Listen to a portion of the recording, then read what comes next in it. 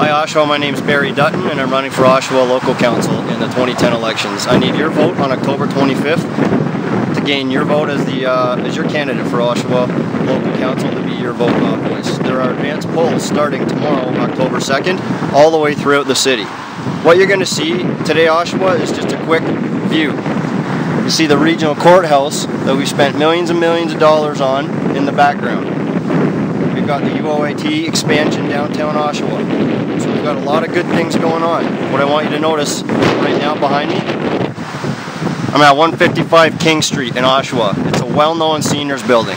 I just had a meeting with the seniors for about a half hour, 45 minutes. And the seniors, while the rest of the development I just showed you is all really great and great and moving in the great direction, we can't forget about the seniors in this town. They're a growing portion of the uh, public they, they do not deserve to be forgotten about.